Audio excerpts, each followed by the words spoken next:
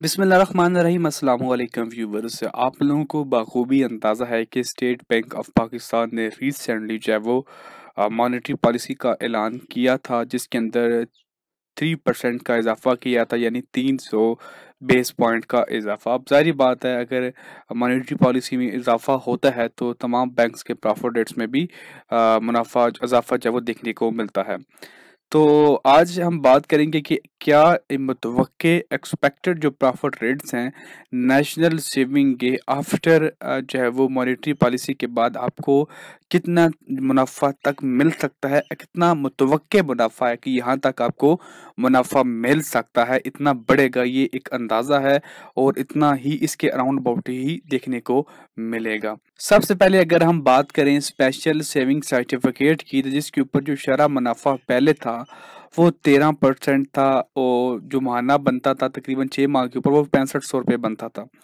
लेकिन अब जो शरा मुनाफा है, वो डेढ़ परसेंट इंक्रीज होगा यानी साढ़े चौदह परसेंट तक जाएगा, और माहाना मुनाफा है वो आपको सात हज़ार एक सौ रुपये सॉरी छः माह बाद जब आपको एक लाख के ऊपर इकहत्तर सौ रुपये जब वो मुनाफा देखने को मिलेगा।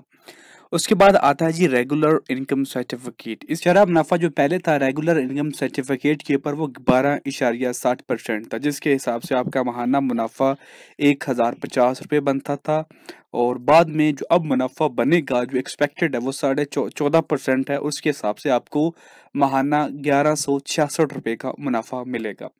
उसके बाद आती है बारी बहबूद सेविंग सर्टिफिकेट की, जिसके ऊपर पहले जो शरा मुनाफा चल रहा है इस वक्त अभी, वो तेरह इशारिया बानवे परसेंट है, जिसके हिसाब से आपको महाना मुनाफा मिलता है ग्यारह सौ साठ रुपये शरा मुनाफा जो बढ़ेगी, उसके हिसाब से आपका मुनाफा बनेगा सोलह परसेंट के हिसाब से महाना तेरह सौ तैतीस रुपये आगे बढ़ते हैं जी, आते हैं सेविंग अकाउंट के ऊपर, जिसके ऊपर पहले था मुनाफा साढ़े चौदह परसेंट के हिसाब से महाना बारह सौ आठ रुपये और अगर ये मुनाफा बढ़ता है तो ये जाएगा साढ़े सोलह परसेंट तक और आपको महाना मुनाफा मिलेगा तेरह सौ पचहत्तर रुपये ऑन सेविंग अकाउंट के ऊपर।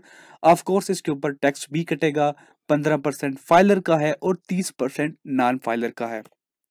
उसके बाद आता है जी शॉर्ट टर्म सेविंग सर्टिफिकेट का।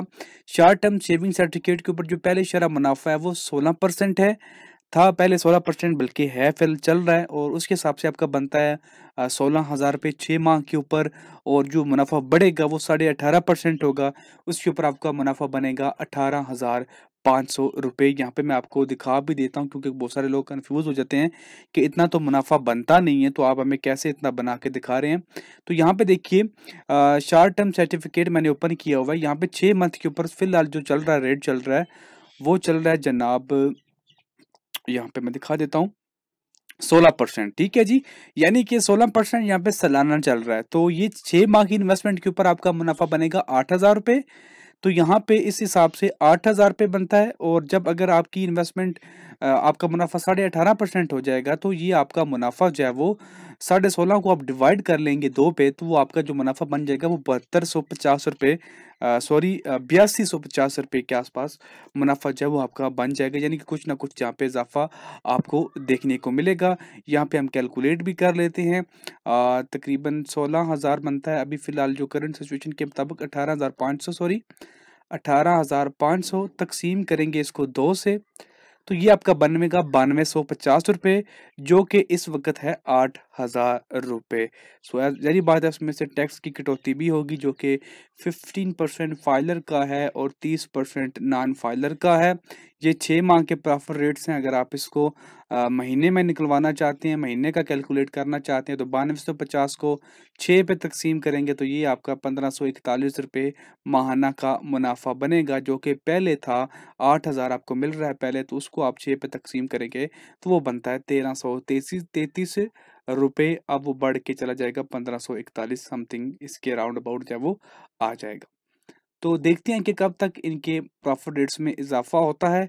मज़ीद ऐसी ही वीडियोस और अपडेट्स के लिए business with Ali YouTube channel को सब्सक्राइब करना मत भूलिएगा। बहुत शुक्रिया।